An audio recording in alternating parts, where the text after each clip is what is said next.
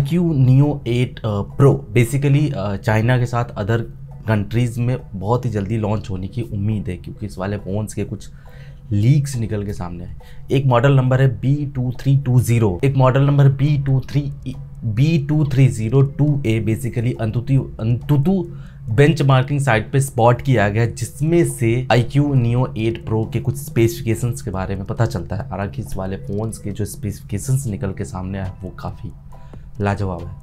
इससे पहले बात करेंगे, प्रकाश डालेंगे I Q Neo eight pro के बारे में। बेसिकली ये I Q Neo seven pro का एक सक्सेसर नहीं बोल सकते, एक सक्सेसर बोल सकते मतलब क्या डिफरेंसेस होने वाले इस वाले फ़ोन के बारे में? इस पर प्रकाश डालेंगे। अगर चैनल पर नया हो तो सब्सक्राइब करके बेल नोटिफिकेशन ज़रूर प्रेस कर लेना। हाल ही में एक लीक्स निकल के सामने आई थी कि iQOO Neo eight Pro basically MediaTek Dimensity chipset द्वारा पावर्ड होगा। इस वाले फ़ोन में मतलब इस चिपसेट के साथ एक सोलह जी की रैम और एक पाँच सौ बारह जी का इंटरनल स्टोरेज भी जोड़ा जाएगा। हालाँकि इस वाले फ़ोन के कुछ स्पेसिफिकेशन से बहुत पहले लीक हुए थे, लेकिन ऑफिशियल ब्रांड की तरफ़ से कंफर्म नहीं किए गए तो आज के इस वीडियो में बात करेंगे इसी फ़ोन के कुछ फीचर्स के बारे में, क्योंकि ये फ़ोन अंतुतु वाले अंतुतु बेंच मार्किंग वेबसाइट पे स्पॉट किया गया है और इस वाले फ़ोन्स के स्कोर्स भी निकल के सामने आए तो लीक्स लीक हुए स्कोर्स के आधार पर इस वाले फ़ोन के कुछ स्पेसिफिकेशन भी टिप किए गए और अगर पिछले लीक्स के हिसाब से अगर मैच किया जाए तो दोनों स्पेसिफिकेशन में ज़्यादा अंतर देखने को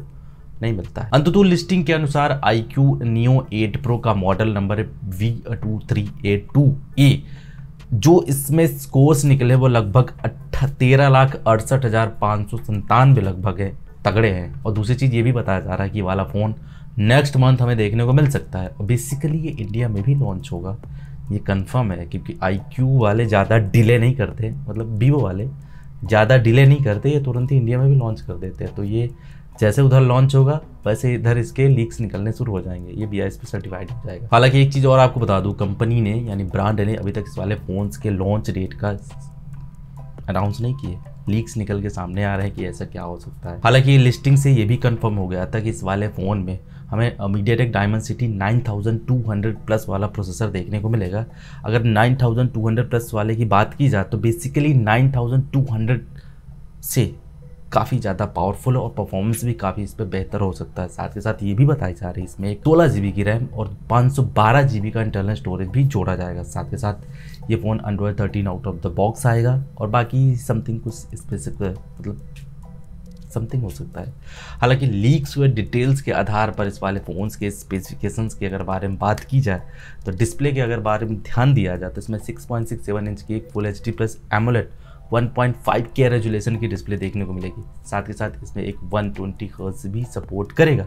बताया जा रहा है कि इस वाले फ़ोन में हमें जो पीक ब्राइटनेस होगी, वो काफ़ी हाइयर भी देखने को मिल सकती है। चिपसेट के अगर बारे में बात की जाए तो डायमंड सिटी 9200 प्लस वाला प्रोसेसर होगा। पाँच सौ बारह की स्टोरेज और सोलह जी की रैम भी देखने को मिल सकती है। हालाँकि एक लीक्स ये भी बताई जा रही है कि इसके कुछ अदर रैम वेरियंट या स्टोरेज वेरियंट भी देखने को मिलेगी। तो मतलब बेसिकली ये कहा जा रहा है कि इसमें एक आठ वाला रैम भी होगा और एक one twenty eight G B storage का ऑप्शन भी हमें देखने को मिलेगा। बाकी इस वाले फ़ोन में ये भी बताया जा रहा है कि पाँच हज़ार एम की बैटरी होगी 120 ट्वेंटी वाट की फास्ट चार्जिंग का सपोर्ट करेगा। रही बात अगर कैमरा डिपार्टमेंट के बारे में तो इस वाले फ़ोन में 50 मेगापिक्सल के साथ ट्रिपल रियर कैमरा सेटअप देखने को मिलेगी। और 91 मोबाइल्स की एक रिपोर्ट बहुत पहले लीक हुई थी, जिसमें यह कहा गया रहा कि इस वाले फ़ोन में हमें वन इंच का लार्ज सेंसर देखने को मिलेगा।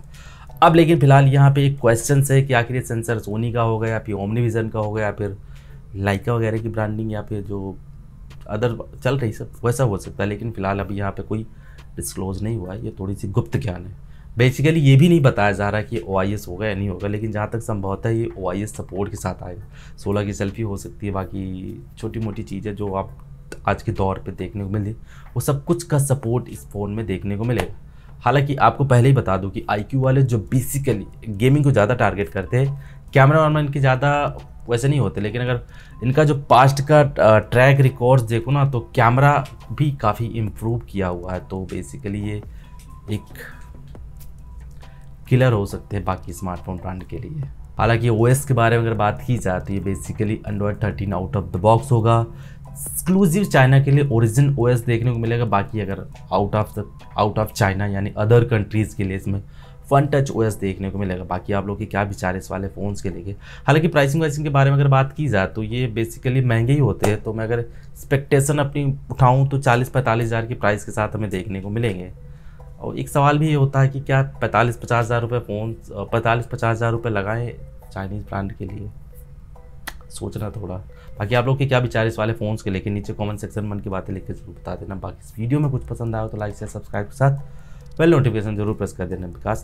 मेरा नाम विकास। मिलता हूँ नेक्स्ट वीडियो में। तब तक के लिए take care bye and always keep smiling जय हिंद।